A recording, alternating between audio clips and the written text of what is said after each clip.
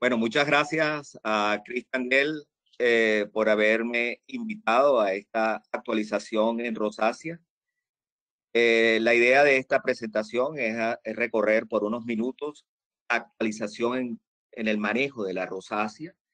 Eh, en realidad lo que quiero hacer es una charla resumida para que luego haya una sesión de preguntas que yo creo que va a ser mucho más instructiva que una charla de unos 15 minutos o 20 minutos, que es la que yo voy a dictar. Hace 20 años, si me hubieran preguntado cuál es la frecuencia del manejo de rosácea y me lo preguntaron, que me lo preguntó de la industria farmacéutica, le dije, mira, yo veo uno o dos pacientes a la semana. Hoy puedo decir que veo diariamente a un paciente con rosácea. Eh, hay muchísimas mm, celebridades que ustedes pueden ver día a día que sufren de la enfermedad. Y eh, eh, para entender un poco lo que es rosácea, que es complejo, creo que es un cajón desastre, donde metemos muchas afecciones y que en algún momento este, a lo mejor van a estar hasta separadas.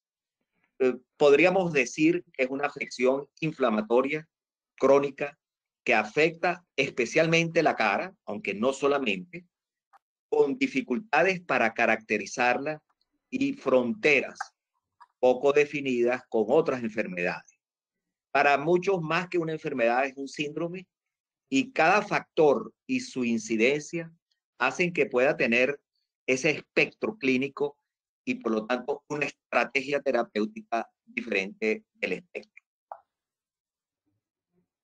Los puntos comprobados, y esto lo vamos a, porque es complejo, la, la fisiopatogenia de la rosácea, solamente voy a hacer un, un, un vuelo rasante. Eh, son, primero que las personas más afectadas son los provenientes del norte de Europa un tercio de los pacientes con rosácea tienen antecedentes familiares, por lo tanto la genética es un factor a tomar en cuenta.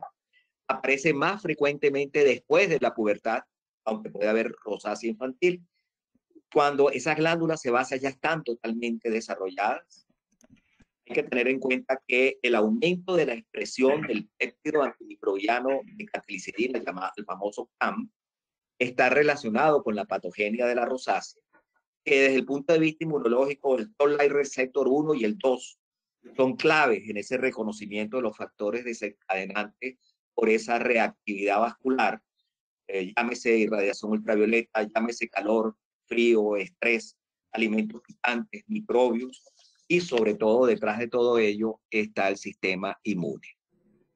En la patogénesis también encontramos aumento de la respuesta al estrés celular relacionado con el retículo endoplasmático, que está mediado a través de una mayor cantidad de esfingocina 1-fosfato, en esa señalización en la piel que está acompañada, como dijimos al principio, por la genética, los cambios neurovasculares, la reactividad de los factores externos, la respuesta inmune y los cambios en la microbiota.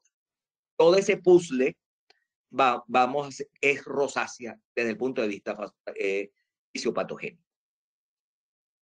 Los pacientes con rosácea pueden tener comorbilidades sistémicas, incluyendo enfermedad del tracto gastrointestinal, por ejemplo, enfermedad por reflujo gastroesofágico, gastritis, enfermedad de Crohn, colitis ulcerosa, enfermedad celíaca y bacterias del intestino delgado, como es el síndrome de sobrecrecimiento. Todo ello vincula un poco a la rosácea con el intestino. Además, la microbiota intestinal ha demostrado que influye en la homeostasis en la piel, en muchas enfermedades, ya sea directamente en caso de ruptura de la barrera intestinal o indirectamente a través de la modulación de la inmunidad sistémica o generando ácidos grasos de cadena corta. Eso lo vamos a dejar por ahí, lo de la microbiota. Más tarde lo volvemos a tocar y esta sería la clasificación, es la clasificación que nosotros tenemos que manejar. La clasificación del grupo ibero-latinoamericano de estudios de la rosácea, del acné y de otras afecciones, eh, donde vamos a encontrar signos que permiten hacer el diagnóstico irrefutable, y eso es la rinofima y el eritema persistente con esos episodios de intensificación centrofacial. Hay criterios principales como es el enrojecimiento, las inflamaciones papulopustulosas que puede que no tienen comedón, pero que exista un comedón no lo va a excluir de las ectasias, pero no las de las que aparecen en, en las alas nasales, que, eh, eh, eh, que no son patognomónicas de la rosácea, manifestaciones oculares como telangiectasias en la conjuntiva, nefaritis, keratitis, conjuntivitis, y unos signos menores que sería la sensación de ardor, el hormigueo, la sensación de piel seca. Y esto, todo esto nos va a dar la clasificación que nosotros la dividimos en formas clásicas o subtipos, formas especiales y variantes. Y esto es algo que nosotros tenemos que tener en cuenta porque hay sutilezas de cambios terapéuticos entre una y otra. ¿Cómo manejar un paciente con rosácea? Primero, evitar que el paciente tenga factores exógenos que lo eh, exacerben o lo empeoren. Condimentos, vino tinto, comidas muy calientes, eh, cigarrillo, ambientes calientes y húmedos, sol, ejercicios extremos, estrés, cosméticos que no sean para piel intolerante, vasodilatadores. En realidad, todo ello y muchos más pueden de alguna forma este, eh, disparar una crisis de cara roja. Eh, debe ser utilizado productos de poco porcentaje graso. Paciente debe usarlo en, en el cuidado ese diario que debe hacerse. Usar cremas emulsificadas o cremas lamelares, ceramidas. La rosácea este, es una afección que hoy en día es muy frecuente, no es lo que hace 20 años había. Eh, es hoy en día un síndrome más que una enfermedad, una serie de problemas un poco diferentes uno del otro, pero que todo ello ha formado ese cajón desastre que se llama, como le dije anteriormente, rosácea, que la fisiopatogenia tiene la genética, los cambios neurovasculares, la reactividad vascular anormal, el estrés en el retículo endoplasmático, los cambios en el sistema inmune, especialmente el toll-like receptor 1 y 2, y esa inflamación crónica y fibrosis que puede producir. Este, tiene comorbilidades, muchas de ellas, la mayoría este, relacionadas con el, el intestino, y por eso es que se piensa que puede haber una conexión de alguna forma entre rosácea y problemas digestivos, y que para todo ello necesitamos hacer un diagnóstico claro de rosácea, se confunde, tiene fronteras complejas con dermatitis seborreica, con acné, a veces hasta con lupus agudo, entonces se confunde la rosácea con, con, con algunas enfermedades, uno tiene que tener criterios claros, ya lo dije, eh, el que quiera eh, aparece en la primera diapositiva mi correo y yo le puedo eh, mandar la charla de alguna forma. tiene una clasificación que es la clasificación del grupo ibero-latinoamericano, que es la que nosotros manejamos en formas clásicas, especiales y variantes. Esa, claro, para poder hacer una buena terapia, hay unos factores externos que también tenemos que tomar en cuenta y vamos entonces a usar productos para el cuidado de la piel, productos cosmecéuticos y vamos a usar productos terapéuticos, tópicos, sistémicos y de, de, de domicilio y de consultorio. De los cuidados de la piel estarían las cremas emulsificantes, las ceramidas, los aceites poliinsaturados, el uso de dimeticona, usar limpiadores especialmente Sindex, libres de jabón y usar fundaciones con silicona. La protección solar, ya empezamos ya donde los había dejado, es imprescindible, especialmente utilizar protectores solares que sean para UV de alrededor de 15 a 30 eh, contra UVB, el factor de protección, y que tengan micropigmentos, es muy importante, con dióxido de, de, titanio, dióxido de zinc. De esos dermocosméticos especiales para pacientes con rosácea, tenemos que utilizar o podemos utilizar aditivos calmantes de la piel, antiinflamatorios, estabilizadores de, de vasos capilares con, por ejemplo, con amamelis o con caléndula, cremas de protección contra el frío, como los que se usan en los deportes de invierno, para evitar esa sensación de calor, es bueno tener aerosoles de agua termal. Hay buenos en el mercado comerciales, soluciones ricas en, minerales. Yo recomiendo eh, comprar uno de esos eh, spray que venden en, donde los chinos y llenarlos con agua, eh, con, agua y enfriarlo en la noche. Entonces se aplica como refrescante cuando el paciente o la paciente tenga bochorno a menudo alivia no solamente la sensación, sino también el enrojecimiento de la piel. Se debe informar a los usuarios que después de la aplicación de medicamentos tópicos debe usarse el uso maquillaje, el maquillaje 10 minutos después y que los productos de camuflaje de cobertura espesa no son adecuados. Es preferiblemente utilizar productos de camuflaje livianos y que que sean fáciles de retirar. Ya el doctor eh, eh, Cristian Diel va a hablarles del extracto de Cuasia Masa. Amara, él viene trabajando muchos años, por lo menos 12 años tengo oyendo el producto. Ya él ha publicado varios trabajos. Aquí hay tres de los que ha publicado él y voy a dejarlo a él que hable solamente. Decirles que es una crema y gel al 4% con un efecto antiparasitario, antibacteriano, antiinflamatorio y él reporta que es una piel bien tolerada y efectiva contra la rosácea y la dermatitis seborreica. Un poco de, de los alfagonistas, son dos, la oximetazolina y la brimonidina. La oximetazolina es un alfa agonista con alta selectividad a receptores alfa 1, tiene una selectividad parcial a los receptores alfa-2 adrenérgicos y se puede encontrar disponible normalmente en esas gotas para la nariz, para la rinitis, que es el afrin. Son concentraciones, pero uno puede formularlo en crema a esa concentración de, fórmulas magistrales de oximetazolina. Una concentración de 0,5% una vez al día reduce el eritema facial y el otro es la brimonidina que ha caído en desuso pero eh, yo en oportunidades lo uso, lo he usado con buen resultado. Es el gel acuoso de brimonidina, de tartrato de brimonidina, con una potencia selectiva de alfa 2 que comienza a los 30 minutos.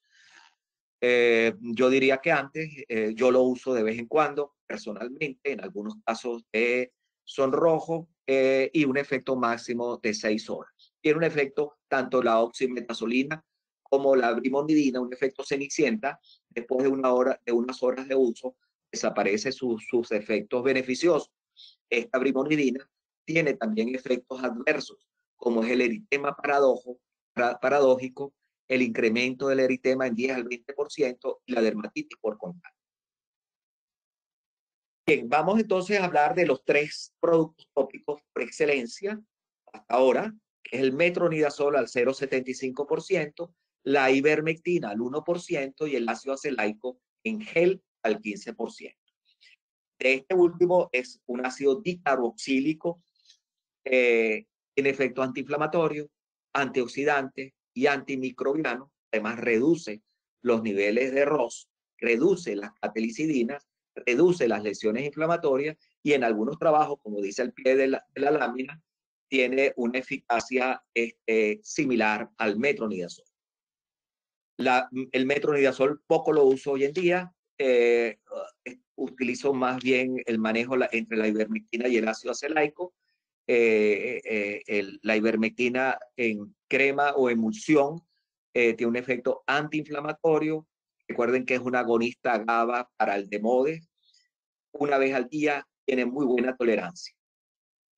Y entre los medicamentos sistémicos por supuesto, eh, están las tetraciclinas, especialmente la doxiciclina, que se está usando a dosis subantimicrobiana de 40, de 30 miligramos de liberación inmediata y 10 miligramos de liberación retardada.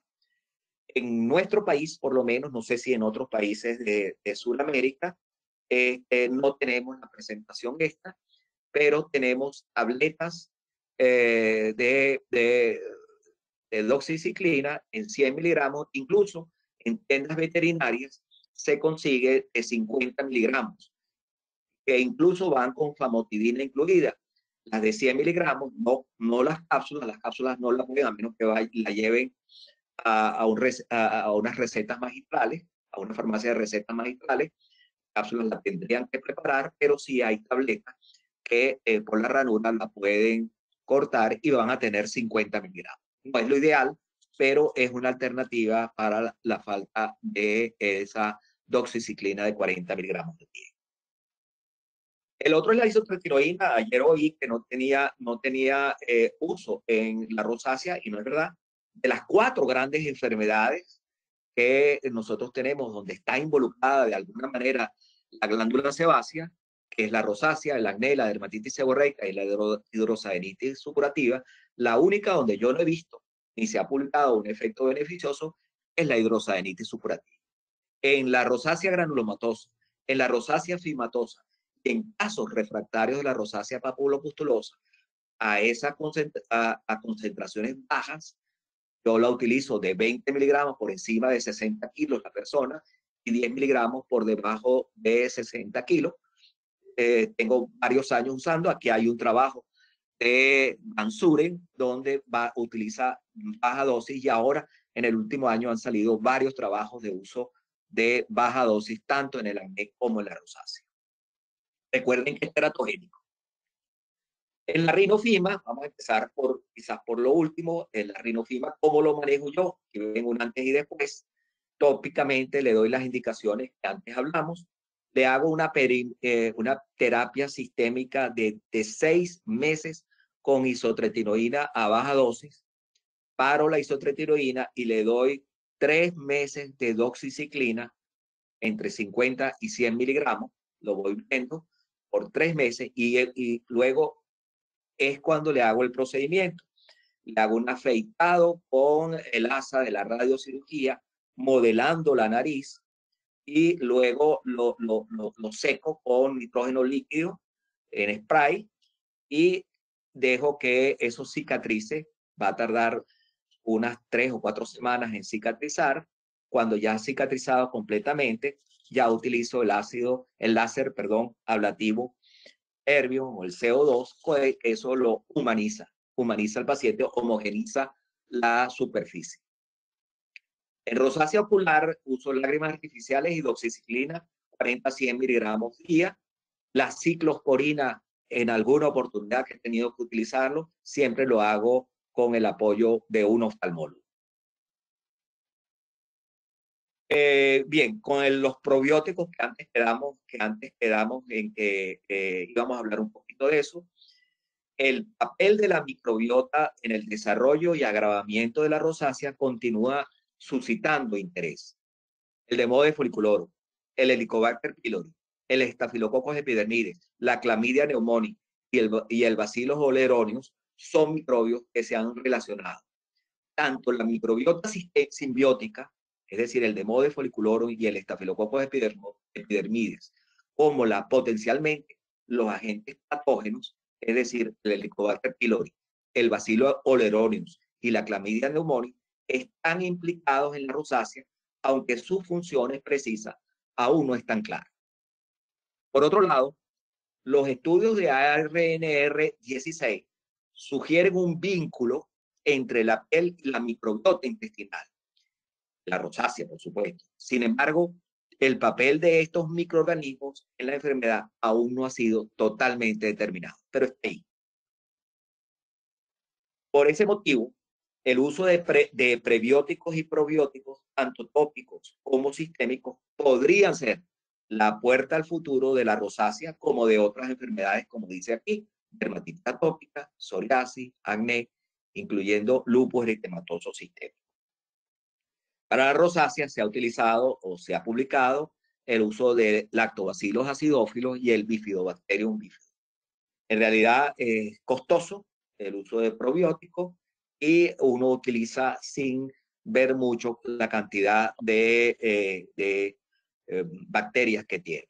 Muchos prefieren la utilización de yogur y no, y no eh, manejar estos probióticos.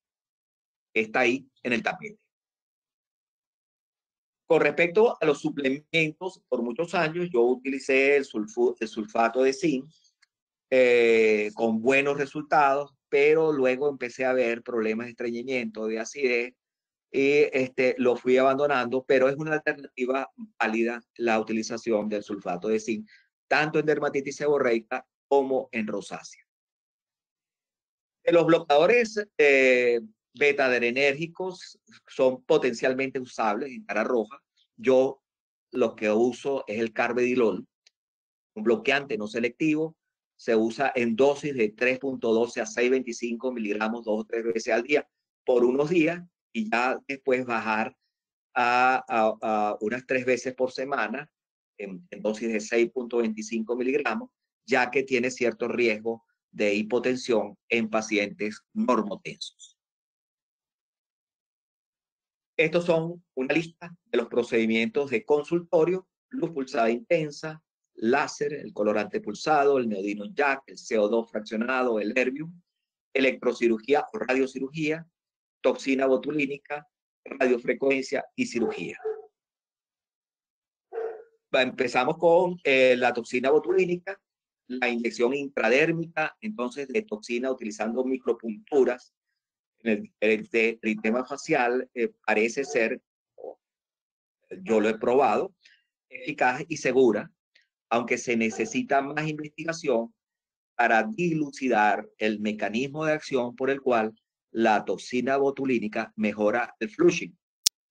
Aquí ustedes ven un video de poniéndole micropuntura de una solución de toxina botulínica diluida a la mitad. Hacen múltiples punturas, micropunturas, y luego, bueno, ya está una paciente un poco borrosa la foto, eh, pero, eh, y maquillada, por cierto, donde eh, responden, esos pacientes dura unos cuatro a seis meses con el, la luz pulsada intensa, entonces ven ustedes antes y después el flash lamp 520 a, 900 nanómetros, interesante. Y aquí ven otros como las de las gestáceas van desapareciendo. Con la radiofrecuencia sí no, no he tenido buen resultado. Se usan las microagujas eh, que han mostrado mejoría clínica discreta e histopatológica entonces debe ser considerada más bien como un complemento de otros métodos en la o en combinación con algunos de ellos. Mucho se habla hoy en día del ácido tranexámico, es un excelente enfoque para los pacientes con rosácea. Casi la totalidad de pacientes que fueron tratados con una solución o gel cremoso emulsionado de ácido tranexámico al 5% presentaron una importante mejoría en los trabajos publicados que están al pie en eritema e inflamación. Ácido tranexámico oral, no hay artículos relacionados con el uso oral, por lo menos conocidos por mí. Sin embargo, muchos dermatólogos lo están usando con resultados prometedores. Personalmente, yo tengo temor de utilizar.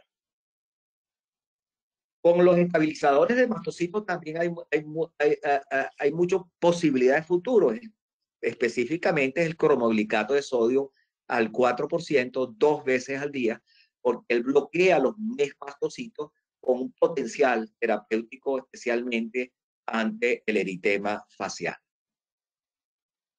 La ivermectina oral la uso con cierta regularidad, prefiero la ivermectina tópica en emulsión, pero hay trabajos como este que está al pie, donde se utiliza la ivermectina oral, en este, por ejemplo, combinado con permectina.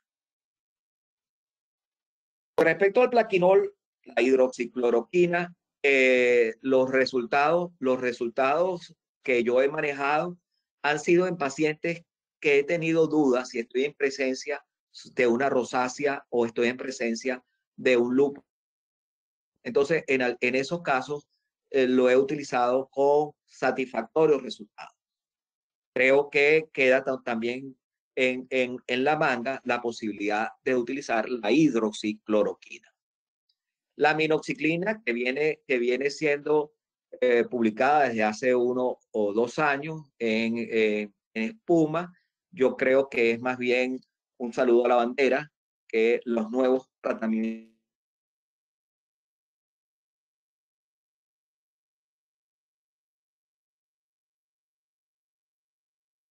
Y bueno, todo esto que yo les hablé, porque no quiero hablar mucho, viene enmarcado en la guía de tratamiento de la rosácea, del consenso.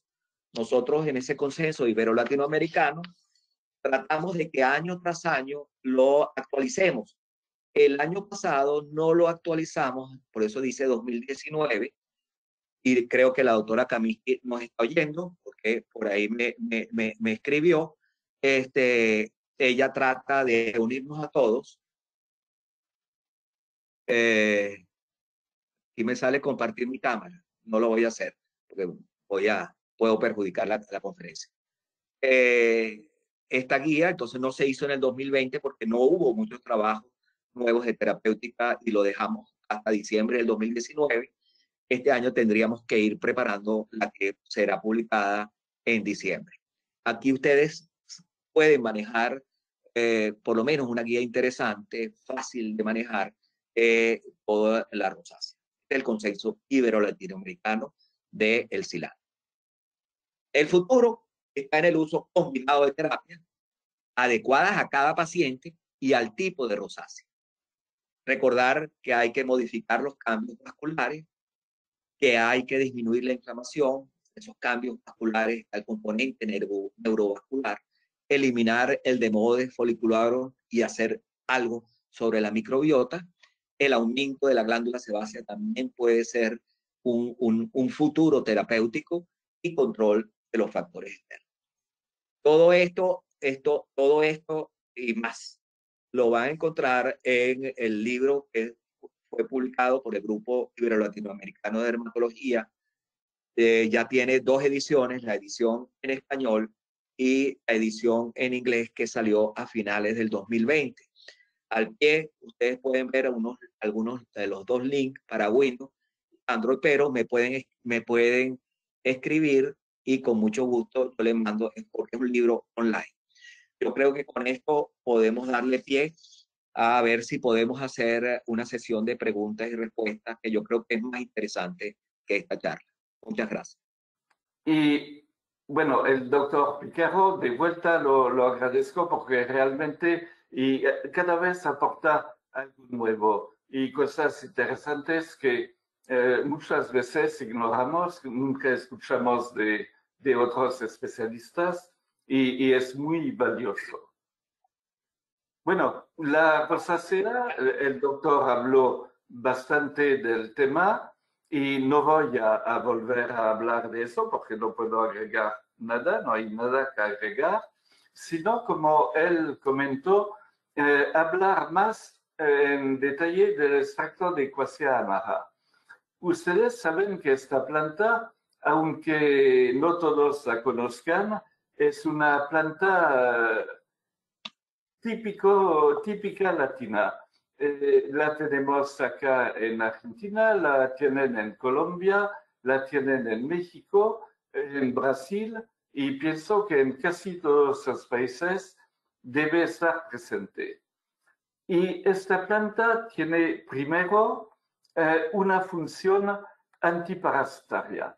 Y, eso eh, fue el, motivo eh, por el cual cuando me interesé mucho a la rosácea y sigo haciéndolo, pero me interesé mucho a la cuasea por este motivo.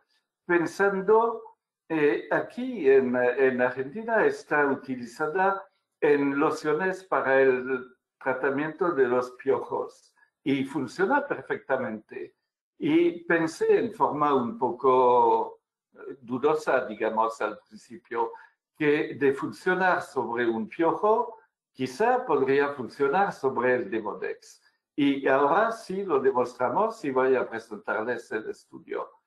Además, eh, eso no es menor, tiene una actividad antibacteriana muy extensa, muy amplia, y eso sirve también en la rosácea, porque sabemos que el uh, Staphylococcus epidermidis o el Bacillus oleorius tienen un papel importante y uh, tienen una acción irritante sobre la piel que puede explicar, por lo menos en parte, la inflamación de la rosácea. Antiinflamatoria, eso eh, es obvio, si ponemos un antiinflamatorio, vamos a ayudar a nuestro paciente con rosácea, antioxidante, y lo usamos en eh, crema y gel al 4%. Bueno, este estudio nunca lo presenté en público, está publicado, se publicó en el 2016 y lo hicimos realmente eh, internacional con eh, investigadores de Argentina, pero también de Ucrania. Todos se dieron la mano para hacer un trabajo interesante y muy extenso. La primera parte fue esta. El estudio in vitro sobre candida, sobre eh, varias especies de candida y ustedes ven que en, el momento no hay acción. a, las 30, 60, a los 30, 60 minutos no tiene actividad pero a los 24 y 48 horas las concentraciones bastante altas del extracto permiten que, desaparezcan los candidatos del cultivo. Eso es muy importante, tiene una actividad antifúngica sobre candida. Y miren, sobre eh, la albicans, pero también otros tipos de candidas. Lo hicimos, por supuesto, sobre malacesia furfur, porque sabemos que está implicado eh, en eh, la dermatitis seborreica, entre otras enfermedades, y eh, hicimos estudio in vitro sobre este hongo. ¿Y qué pasó? Miren, en todas las diluciones, hasta las más bajas, no había desarrollo a los siete días y, mucho más antes del, del, hongo. Eso es muy importante, eh, eh, realmente tiene una eficacia muy alta e incluso a pequeñas concentraciones sobre este tipo de hongo. Lo probamos siempre el tema antiparasitario lo probamos sobre Trichomona eh, vaginalis y ustedes ven que tuvimos realmente un muy buen efecto. Eh, no hubo desarrollo, no hubo viabilidad de tricomonas en el cultivo y con la mayoría de las concentraciones. Y con todas, después de 48 horas, no había más tricomona. Y seguramente eh, unos tendrían que pensar a nivel de la industria al uso de Cosia en eh, vaginitis con tricomonas, porque sabemos que estamos utilizando el ketoconazol o productos de ese tipo, o el metronidazol, pero hay resistencias eh, muy importantes. Entonces, eso podría ser una alternativa natural y muy inocua.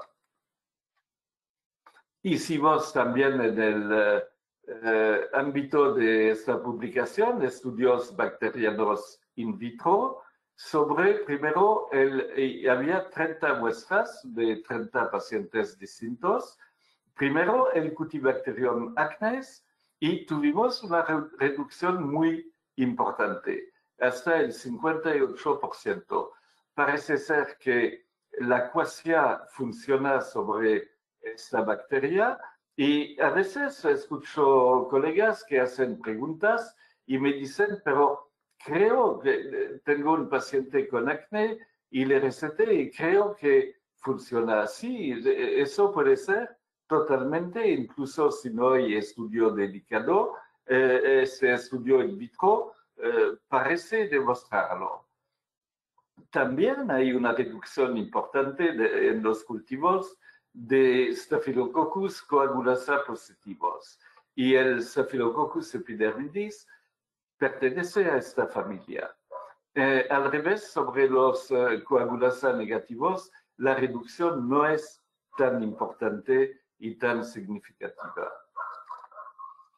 Bueno, eh, siempre en el mismo estudio hubo una parte clínica con 30 pacientes y hicimos un estudio ex vivo de la actividad de la cuaseamara sobre el Demodex folliculorum.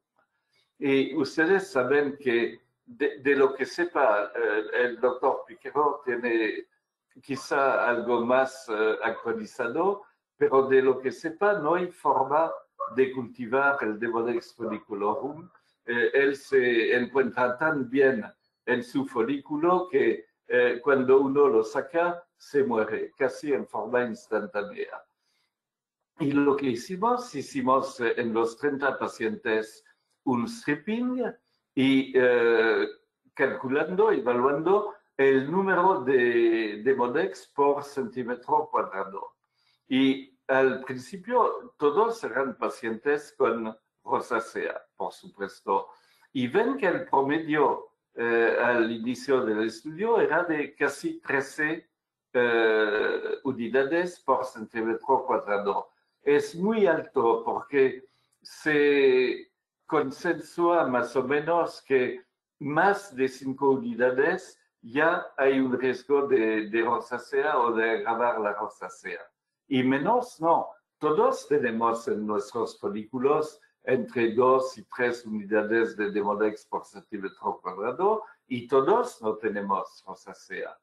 Y ven que eh, la progresión fue muy regular y, muy interesante porque al final casi no quedaba Demodex.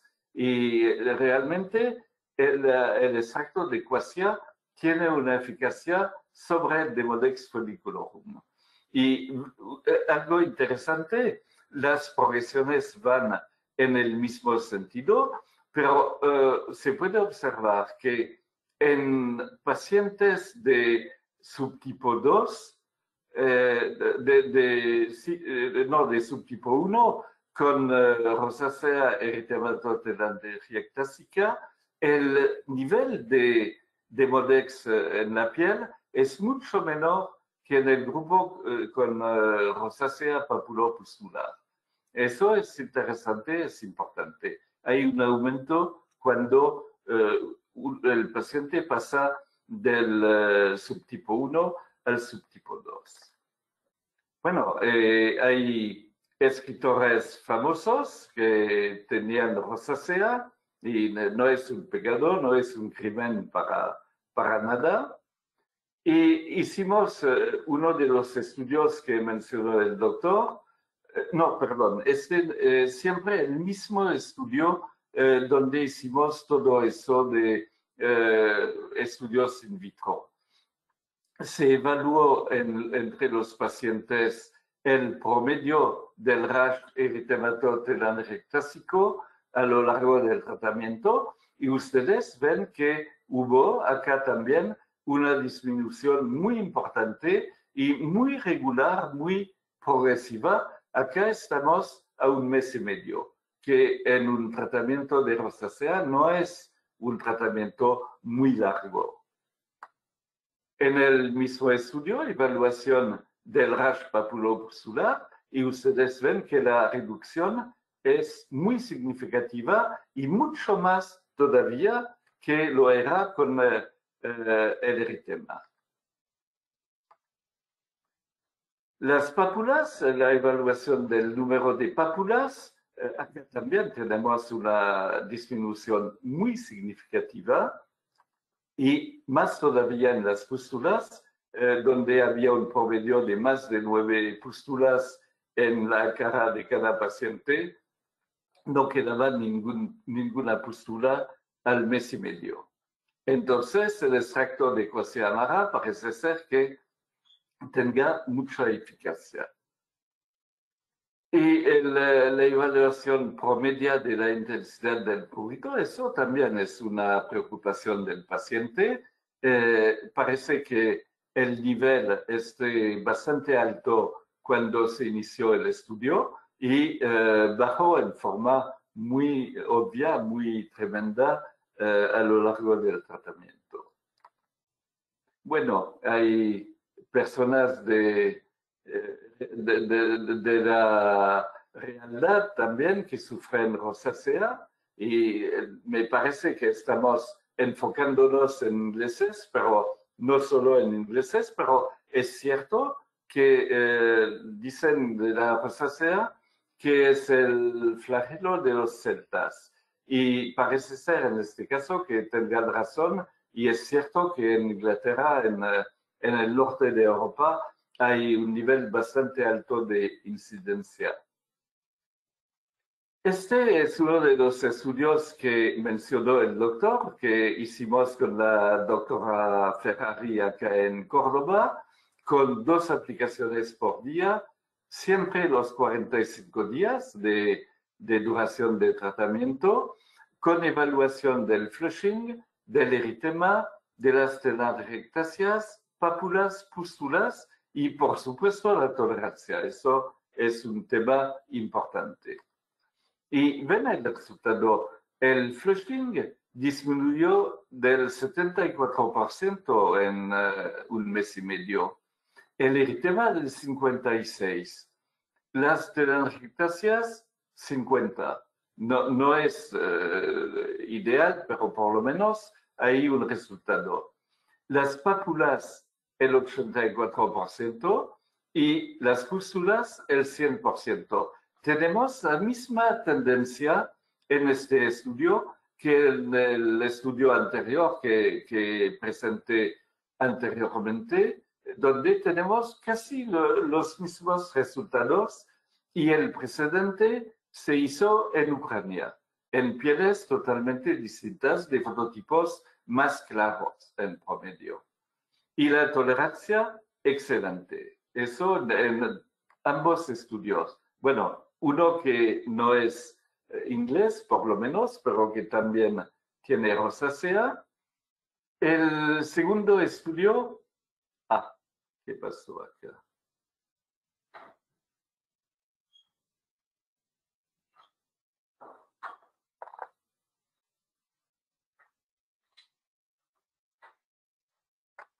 Ya estamos, perdón. El eh, segundo estudio en rosácea fue comparativo, porque la pregunta de, de los colegas siempre era, ¿funciona mejor o no que el metronidazol? Y como no quiero adelantarme a, afirmar cosas que, no son comprobadas, hicimos el estudio eh, versus el metronidazol al 0,70% en crema.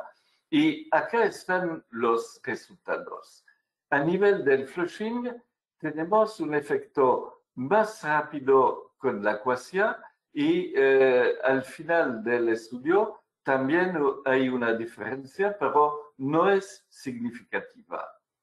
Al revés, a nivel del eritema también tenemos esta eh, mejoría eh, más rápida, pero al final tenemos un resultado mejor que el metronidazol.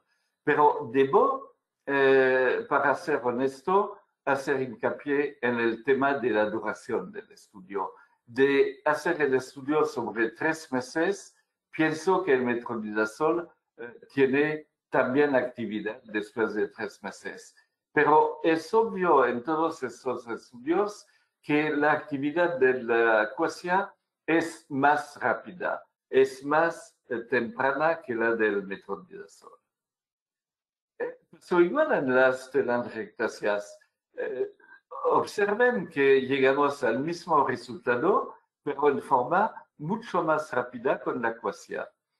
Las pápulas igual, a pesar de que el metronidazol es muy potente sobre las pápulas, pero parece ser que aquí también necesita más tiempo para actuar.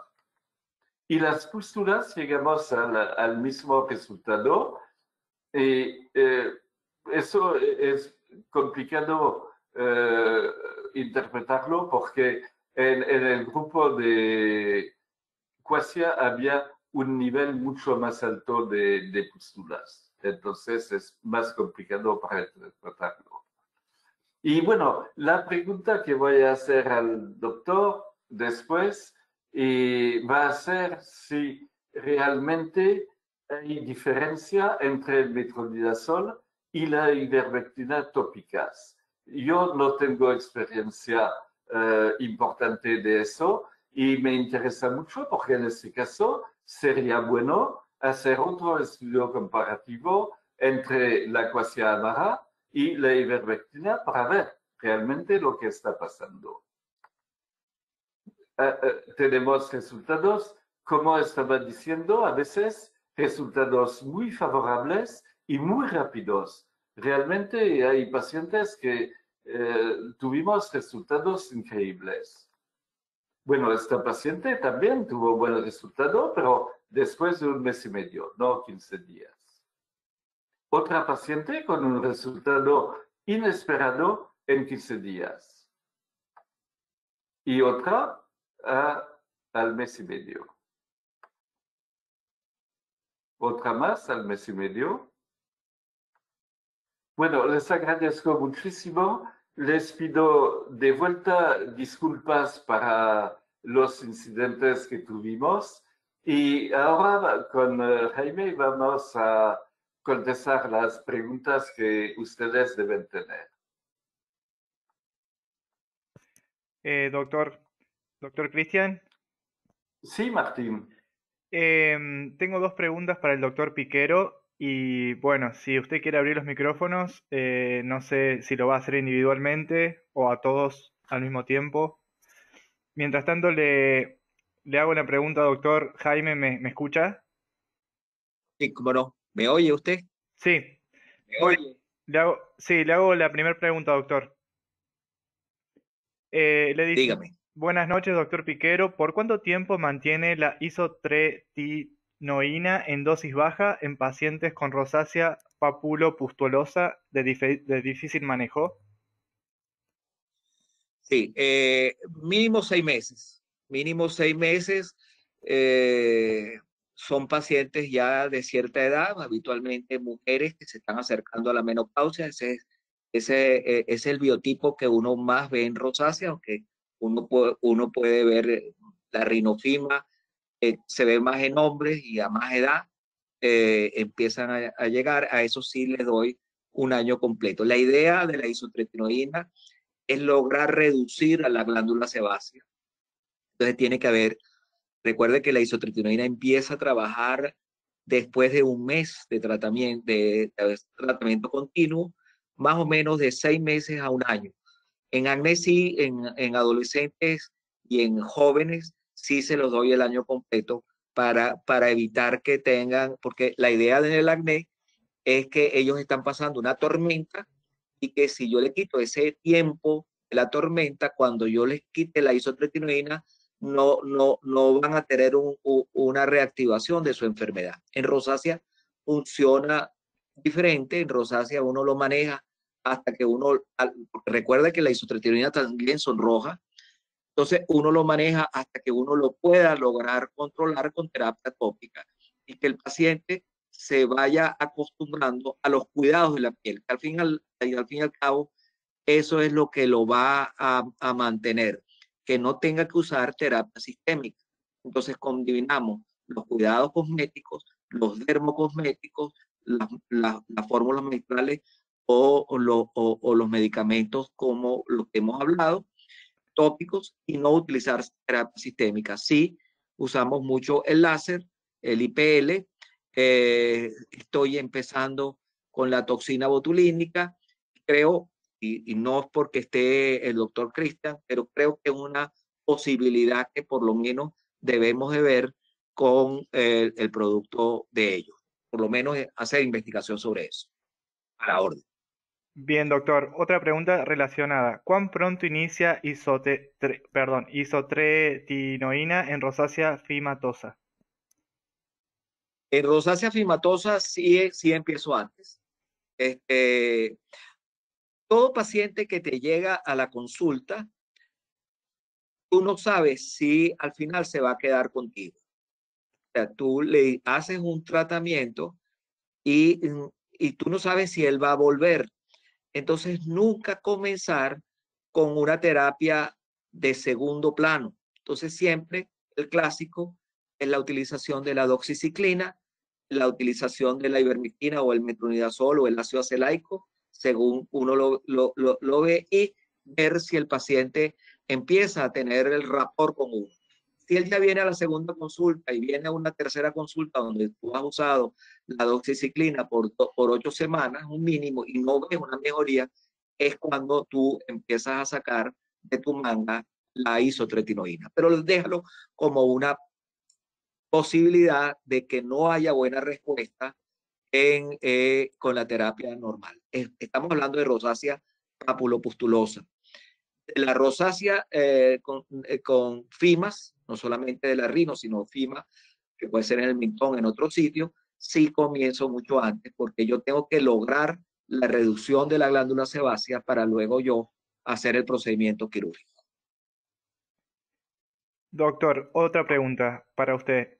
Eh, la ivermectina tópica, ¿por cuánto tiempo? La ivermectina tópica se puede usar por mucho tiempo. De verdad que usándolo en, emulsión, ¿no? en solución, que, a veces la formulan en soluciones alcohólicas que, eh, eh, que, que, irritan. En una emulsión liviana puede ser utilizado, que te digo yo, por tres o cuatro meses sin ningún problema al, tú lograr la disminución de la inflamación, eh, eh, no estamos hablando de otros productos, sino los que yo manejo habitualmente, al yo lograr la desaparición o, minima, o minimizar las lesiones papulopustulosas, paso al ácido acelaico. Al 15% en gel. Bien. Doctor Piquero, cuando habla de la aplicación de toxina butolínica diluida, ¿qué dilución usa? La, la dilución ya les voy a decir, eh, sabía que me iban a hacer esa pregunta. Y eh, ustedes la diluyen. No, uno hace eso, se lo da a la enfermera y, después ya sabe cómo recomponer el producto. Entonces, normalmente, si estamos usando la, el Botox de Allergan, eh, podemos utilizar, por ejemplo, dos viales, vamos a, a ponerlo así, dos viales 100 unidades en 6 ml de solución. Pues ustedes a eso lo diluyen en 10, en 10 ml y no en 6.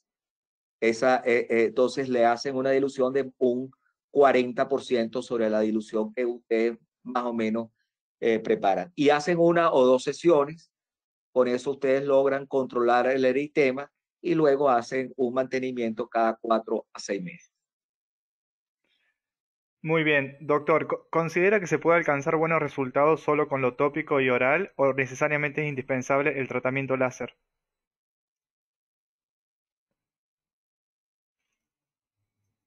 Bueno, el ah. tratamiento, eh, sí, estoy pensando, porque la pregunta no es, no es fácil.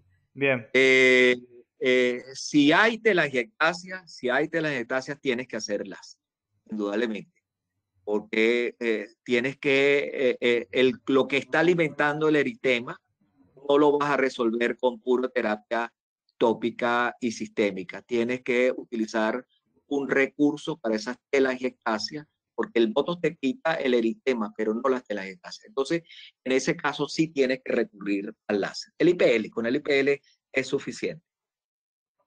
Bien. ¿Cómo usa el, el ácido acelaico, doctor Jaime? Bueno, en la noche, en la noche, diciéndole al paciente que se coloque una fina película y que 5 o 10 minutos después de la aplicación va a tener un ardor imposible por unos minutos y que ese se va a desaparecer espontáneamente. En gel, eh, preparados en gel. Eh, en crema al 20%, eh, que inconcebible, pero es más irritante. En un gel emulsificado es más tolerado. Bien. ¿La RF no estaría contraindicada por el calor que genera? No sé, no sé. O sea, en realidad, bueno, yo tengo a mis hijos que son los que hacen más cosmética, yo, hago más dermatología clásica, pero en un par de pacientes que yo vi que eh, eh, con la radiofrecuencia, no le vi el resultado y es muy costoso para tener un resultado no totalmente satisfactorio. Sí lo veo más con el láser que con la radiofrecuencia. Bien. Enfima, después del uso de la isotretinoína, ¿cuánto espera para realizar el tratamiento quirúrgico? Bueno, tres meses.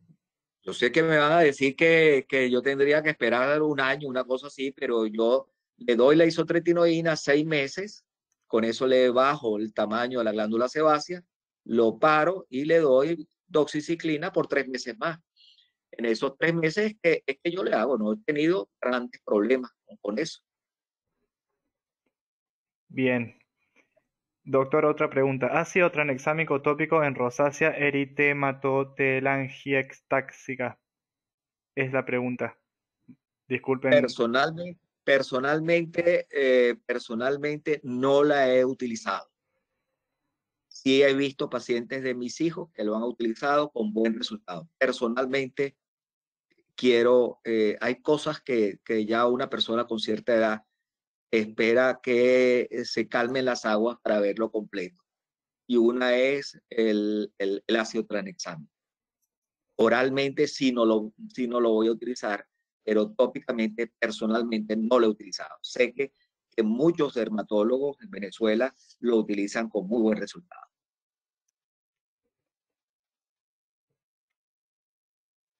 Doctor, ¿puede hacer un esquema de cómo trataría un paciente desde la limpiadora hasta el tópico o sistémico, o hasta el tratamiento tópico o sistémico? Un esquema. Bueno, fíjense, eh, eh, vamos a suponer, llega el paciente, se levanta en el día, entonces usa una loción limpiadora Sindex suavecita y puede entonces colocarse preferiblemente uno de estos bloqueadores solares que ya vienen con una con temas calmantes, especialmente en las casas estas del arroz posee, bioderma, tienen buenos protectores que pueden, que pueden tener esa, esa eh, capacidad. El paciente se lleva su agua termal, se la va poniendo este, en el día, eh, se usa un, un, camuflaje, una base sencilla, liviana, o, uh, que tenga un bloqueador solar, eh, lo usa como camuflaje y lo usa como también bloqueador solar químico y físico y pasa el día, llega la noche, en la noche se, eh, se limpia eh, con el cinte de nuevo, puede usar unas compresas de manzanilla si lo quiere, o bien puede ponerse yogur frío, que también le va a aliviar del curso del día, y ahí entonces utilizaría según, eh, según el tipo de rosácea, o bien una crema con amamelis y caléndula y esas cosas, o bien una de las formulaciones que antes hablamos. Eh, ese es el, el, manejo tópico. El manejo sistémico, yo comienzo siempre, como le dije antes, con, con la doxiciclina. Al principio le doy 100 miligramos por unos 15 días y luego bajo a la dosis de 50 miligramos. Ocho semanas, me va respondiendo, lo llevo hasta 12 semanas y no va respondiendo, paso a la isotretinoína. Lo cito cada mes, cada mes y medio para hacerle el tratamiento de consultorio. No hago peeling, no hago peeling en rosácea. Eso sí quiero. Bueno, doctor, eh, eh, eh, ¿le puedo hacerle la última pregunta? Bueno, con mucho gusto. Eh, ¿qué, opinión, ¿Qué opinión le puede dar a mujeres en edad fértil que busquen embarazo y no pueda usar, usarse isotretinoína? Bueno, este, la, la, las mujeres que me llegan a la consulta tienen que llenarme un formulario de que, de que yo les he explicado toda la problemática de la isotretinoína. Eh, me, me llena el, y luego le doy indicaciones para que me usen dos métodos, dos procedimientos anticonceptivo. Uno es un anticonceptivo, uso mucho la drosprinona o, o bien uso el acetato de ciproterona, tanto en rosácea como en acné. O bien utilizo el etinilestradiol, que es un anticonceptivo normal y no tiene el efecto antiandrógeno que pueda tener el, el acetato de ciproterona o la drosperinona. Este, pero me da el efecto anticonceptivo sin que tenga un efecto androgénico. Y luego le, le dibujo el ciclo que ella va a tener de 28 días y le digo que entre el día 8 y el día 20, 22, si llegara a tener relaciones, me va a usar preservativo, ya que va a tener, sus ciclos van a ser eh, manejados por el anticonceptivo oral. Entonces, de esa forma puedo yo esquematizar el uso del preservativo solamente en 10 días, que son los riesgos. dos métodos anticonceptivos. Y llenarme un formulario de, de, que yo le he explicado todo lo que puede ocurrir. Muy bien, doctor. Eh, les voy a hacer una pregunta que va a incluir a los dos en la respuesta. Primero usted, doctor Jaime, y después paso al doctor Cristian, que tenemos dos preguntas para él también. Y la última pregunta para usted, doctor Jaime, es ¿qué recomendaciones le da a los pacientes con rosácea en cuanto al uso de la mascarilla? Bueno, esa es una buena pregunta porque eh, las lesiones que uno está viendo desde hace un año con el acné mask, que así fue nombrado, y que muchas veces este, uno lo enfocó al principio como acné, en, en realidad son lesiones acneiformes o rosaciformes. Eh, no son verdaderos, no son verdaderos lesiones de acné, sino más bien unas lesiones papulopustulosas que yo me imagino que deben ser por el calor, por eh, la respiración en un, en un ambiente cerrado como produce la mascarilla. Me imagino que es eso. ¿Qué le puedo decir? Tiene que usar mascarilla. Le pongo su tratamiento local y lo manejo como erupción agniforme, como lo que, lo que es. Uso el peróxido benzoil con, eh, en muchas oportunidades, que muchos también lo usan en la rosácea. Este, les ha ido bien. Uso el peróxido benzoil y en algunas oportunidades la doxiciclina o la lindiciclina. Pero tiene que usar mascarilla. Y el distanciamiento y el lavado de manos. Y vacunarse. Muchas gracias, doctor. A la orden. Doctor Cristian, le hago una pregunta sobre el producto del cual usted habló. Quasit, ¿cómo, ¿cómo recomienda usarlo y por cuántos meses y si lo deja como monoterapia. Y bueno, eso depende del grado de rosácea, el subtipo de rosácea, pero normalmente se recomienda el, tema monoterapia. Eh, normalmente se recomienda usarlo dos veces al día, a la mañana, a la noche, y la duración del tratamiento, el promedio, tres meses. Bien, ¿y el, el producto Quasic está disponible en Venezuela? No, en este momento no. Eh, doctor Cristian, ¿y podría comentarnos algunos procedimientos en el consultorio para los pacientes con rosácea? Bueno, pienso de, de, lo que vi en la literatura que uno de esos procedimientos simples podría ser con el ácido tranexámico con, eh, con alta concentración y lo aplican sobre gasas y lo aplican sobre las lesiones de rosácea, más que todo telangiectasias, durante 20 minutos en forma semanal. Y eso, eh, según lo que leí en la literatura, eh, tiene muy buen resultado. Pienso que el doctor Jaime leyó lo mismo, pero de lo que dicen hay buen resultado con eso, a nivel de procedimiento simple, digamos, en el consultorio. Sí, ah, lo, usaré, pero eh, ahora me siento cómodo con lo que estaba usando. Me gustaría la posibilidad de usar en el futuro el ácido tranexámico y usar el producto de ustedes, siempre y cuando lo podamos, lo tengamos a nuestra disposición. Eh, pero también, eh, Jaime, no, no el producto de nosotros, pero porque no lo tenemos, eh, existen ampollas incluso de, que usan los ginecólogos o cirujanos para hemorragias de... No, no, estoy hablando, no estoy hablando del ácido tranexámico, estoy hablando de la clase amara. Ah, perdón, perdón. Sí. Este, no, sí, yo tengo, yo, yo, hay disponibilidad en Venezuela del ácido tranexámico. Es cuestiones de, de ya una persona de mi edad que, que, es difícil cambiarle el cassette, pero cuando se cambia, se cambia.